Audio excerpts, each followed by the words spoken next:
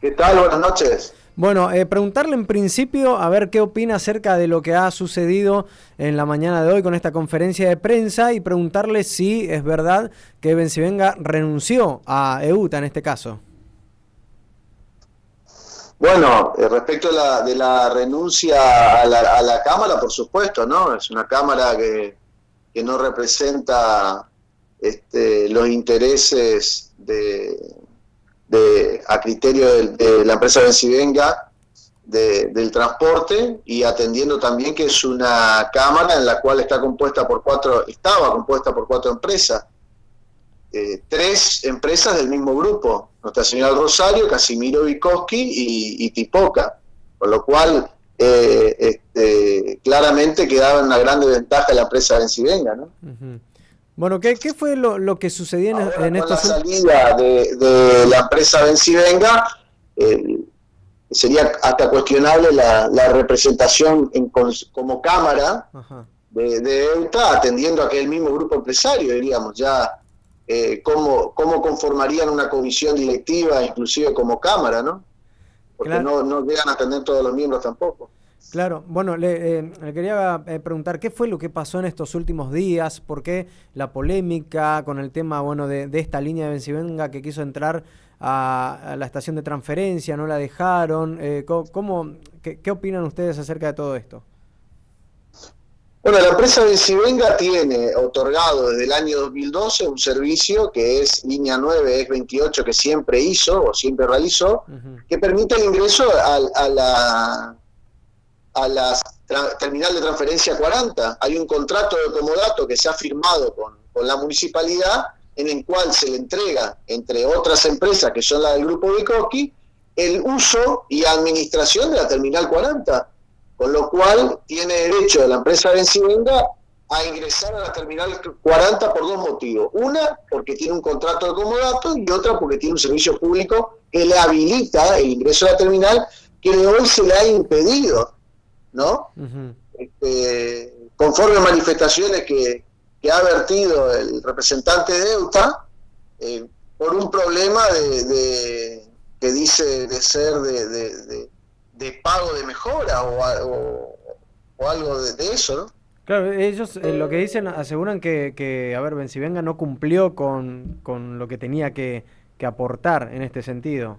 ¿Dónde dice que no cumplió? Yo no, yo no veo en ningún lado que haya ahí, que, que esté expuesto en documentos que no ha cumplido. Claro, no, ellos en la conferencia de prensa lo dijeron. Y ya lo hemos expuesto. ¿Quién es el que administra la Terminal 40? Si es un tercero, ¿quién le habilitó a ese tercero a administrar la Terminal 40? Hay muchas cosas que evaluar para, para analizar en qué contexto se para o se sustenta EUTA y bajo qué representación, por lo que yo ya te dije, para agrimir eh, tan livianamente los hechos en una, en una declaración, en un comunicado de prensa. Pero de todas maneras, te vuelvo a decir, quien alega debe probarlo y la empresa de Sivenga va a esperar que eso ocurra. Eh, en este sentido, eh, también lo que se mencionó hoy por parte del de, gerente de la empresa Casimiro, lo denunció públicamente, digamos, algunas maniobras, así lo, lo llamó, respecto de, bueno, recorridos en Itambeguazú más precisamente, ¿sí? sin habilitación por parte de eh, algunas líneas de Bencivenga y además, bueno, algunas maniobras, eh, como por ejemplo no dejar pasar al, colectivo, digamos, de la empresa Casimiro en las paradas, eh, quitarle, si se quiere, también pasajeros. Esto, esto, ¿Ustedes están en conocimiento de esta denuncia o no? No, no, absolutamente. No estamos en conocimiento de ninguna. Desde ya negamos que esto, que eso que, que, expone, si es así que los puso, sea real. Nosotros, eh, el, el Vencivenga sí ha hecho denuncias por superposición de recorridos eh, o modificación de recorridos por parte de, de la empresa este, Tipoca y Casimiro Vikoski. Eh, sí, ya fueron constatados por el municipio eh, y en ese contexto esperamos que, esa situación cese. Ya el, tema del, de Guazú es un reclamo de los habitantes del barrio que reclaman desde el año 2014 el ingreso de dos servicios, la línea 23 y 28, eh, estos servicios obviamente van a dar mayor accesibilidad al, a distintos recorridos y, también al, al, propio barrio. Eh, se opone claramente el otro grupo empresario a, que esto ocurra por una cuestión de, de competencia. Me parece que Vencivenga ha demostrado que viene a, competir con, servicios. En realidad todos los servicios ya están otorgados, no hay nuevas modificaciones de servicio más que las que ya fueron otorgadas. Y es una empresa que ha generado este, eh, una recepción muy buena por parte de la población, vino con, a cambiar los servicios que estaban de la manera que estaban planteados por los anteriores propietarios de Bencivenga, eh, inició sus actividades con, con unidades con aire acondicionado, eh, este, uno lo ve en los comentarios de, de, todos los canales digitales respecto de la empresa Bencivenga que alaban los servicios. Es decir, bueno, esos servicios son los que quiere el barrio también Guazú.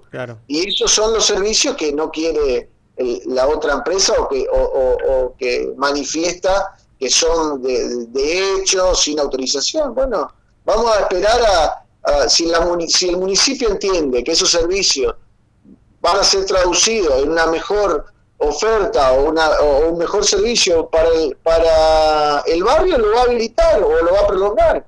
Es nada más que eso, digamos. Nosotros no está, la empresa de Civenga no está en respecto de, manifestar eh, hechos que, que no, son que no, no los puede demostrar o, o, en contestar hechos eh, como los que ha expuesto EUTA o, el representante de EUTA en, un, en una conferencia de prensa que, no ha aprobado esos hechos. para, para que quede claro, el tema del ramal, bueno, de la línea, en realidad, de la, la 9, que fue tema de conflicto en estos últimos días, eh, pertenece pura y exclusivamente a Vencivenga, o sea, tienen la autorización ustedes, no, hay, no es una línea compartida, por así decirlo. No, no, es un contrato otorgado en el año 2012 para la protección de un servicio que siempre lo ha prestado la, empresa de Cienga. Lo único que ha hecho la, empresa, porque es línea 9, ex 28. Lo único intentado eh, eh, o modificado es el ingreso a la terminal 40. obviamente desconocemos por qué este, eh, anteriormente, hablo del 2015, 2014, bueno, el 2015 cuando arranca la inauguración de la terminal, pero después de eso había otros propietarios que, ¿por qué no han, si bien hay carta de documento eh, que, que intiman a la terminal 40 a que le permita el ingreso, o sea que enviadas por uh hay cartas de documento que se han cruzado y hechos que son documentados, en el cual se documenta el impedimento al ingreso a la terminal 40, lo que sí de, este, hoy desconocemos ¿Por qué quedó ahí? Y hoy por hoy sí se está tratando de cumplir con el servicio de manera correcta, diríamos, ¿no? Que es con el ingreso terminal 40. Además de eso, te vuelvo a repetir, hay un dato que le entregó el municipio, que firmó el municipio entre todas las empresas Vencivenga, en el cual expone claramente que se entrega el uso y goce y administración. Si hay un problema económico que plantea o un reclamo que hace eh, eh, cualquiera de los de las empresas que forman parte de esta EUTA, que no sé cómo quedará a futuro, porque representa al mismo grupo empresario y solo son tres empresas para dentro de una cámara, eh, este, que sea económico y piensan o estiman que se le debe dinero en algo, que hagan el reclamo económico pertinente, pero eso no tiene absolutamente nada que ver con la afectación del derecho real que tiene o, de, de, la posesión que le fue otorgada a este a la empresa Vencivenga. Perfecto. Por último, Fause, eh, ¿cómo sigue todo esto eh, por parte de ustedes? ¿Van a presentar algún amparo? ¿Cómo, ¿Cómo van a actuar a partir de ahora? Esto ya fue, este, sigue la, la línea administrativa correspondiente, diríamos, el procedimiento administrativo correspondiente. Nosotros ya llevamos este, eh, este reclamo al, a la municipalidad de Posadas, entendemos que en el diálogo se puede llegar a, a obtener una, una solución. Eh, ya se ha comunicado eso al municipio y bueno, vamos a esperar si se puede resolver. Obviamente si no se resuelve de manera administrativa o en diálogo,